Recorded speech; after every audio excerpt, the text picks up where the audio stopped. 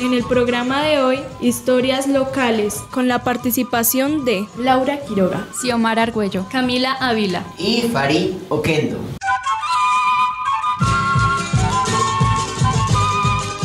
La motivación es la parte fundamental por experiencia que todo ser humano debe experimentar y sentir en todo momento cuando de aprendernos conocimientos se trata. Es aquella lucecita interior que nos mueve para hacer cosas que a veces no queremos o no deseamos. ¿A cuántos de nosotros los abuelitos no nos han contado historias de terror? mitos, leyendas como la pata sola, el viato, el muán y que no nos dejaban dormir? Pues bien, Saboya cuenta con una rica tradición oral y cultural popular. Esta nos permite soñar, fantasear, imaginar, investigar, desplazarnos en el tiempo y en el espacio de nuestro municipio y así hacernos protagonistas de dichas historias, lo cual estimula el pensamiento y devolvernos al pasado y rescatar esta hermosa tradición que se ha ido perdiendo en las diferentes generaciones. Si Tunja tiene la leyenda del Pozo de Donato, pues Aoya también la tiene y está ubicada en la vereda de Vínculo y dicen que allí existe una cascada de agua, la cual se caracteriza por ser muy caudalosa y se ve reflejado en el cielo. Allí una mujer hermosa fue absorbida a las profundidades de las aguas y cada Semana Santa se ve reflejado un hermoso arco iris. Dicen que tiene una comunicación con el pozo de Tuna. La leyenda de Piedra Pintada cuenta que el diablo convivía con los chipchas y era muy aficionado al juego del tejo. Los emborrachaba para ganarles y sacarles buen provecho de ellos. Una noche se cargó tres piedras y se vino jugando desde Vélez.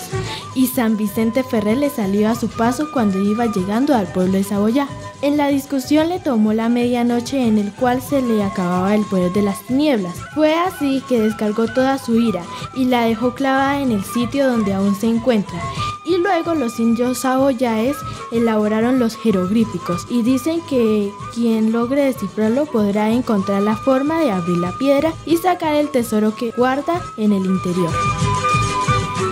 Las peñas como la del Méndez, la del Cacique y Resguardo también tienen sus propias historias. Son legendarios estos sitios debido a que en el pasado fueron el lugar donde habitaron los indios que componían la tribu comandada por el cacique Saboyá y en la actualidad son destinos turísticos dignos de visitar. Son cuevas con muchos túneles donde los indios guardaban sus riquezas, donde practicaban sus rituales y la meditación. Muchas personas se han arriesgado a encontrar los tesoros allí escondidos, pero dicen que los espíritus que allí habitan no les han permitido lograr el propósito. Cuenta la historia del pino legendario, ese frondoso árbol que se encuentra ubicado en el centro del parque principal se ha convertido en una de las reliquias más apreciadas por nosotros los saboyanos. Este pino ha sido testigo silencioso de la violencia política que vivió el municipio. También es el sitio escogido por las familias en las festividades. Dicen que es víctima de la maldición de un cura que no le gustaba que le llevaran la contraria. Y dicen que si este pino es cortado, Saboya se inundará porque debajo de él se encuentra una fuente de agua subterránea.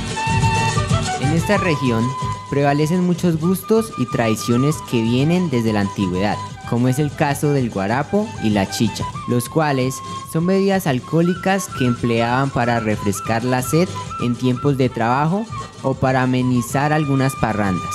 A los borrachitos, algo muy malo y sorprendente los asustaba. Se trataba de un espíritu maligno o el mismo diablo manifestado en un hermoso y apuesto corcel muy fino. Cuentan que quienes se atrevían a cabalgarlo, después de un tiempo se transformaba en una bestia feroz, que lo único que producía era terror, pues sus ojos eran de color rojo y por sus patas les brotaba fuego y relinchaba de manera extraña.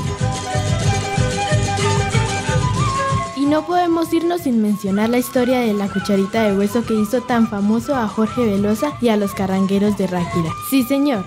Esta historia es verídica y se desarrolló en la vereda de Belandia del municipio de Saboya, como dice la canción. Y la persona que la inspiró, don Gregorio, aún existe, pero por cuestiones de salud vive en Bogotá. Esta canción es muy conocida a nivel mundial porque las llevó a presentar en el máximo escenario internacional, el Madison Square Garden de Nueva York. Y esto ha hecho de que nuestro municipio sea conocido a nivel nacional e internacional. Estas y muchas historias las pueden escuchar en Saberes Online, la voz de la cultura y el conocimiento. Los esperamos.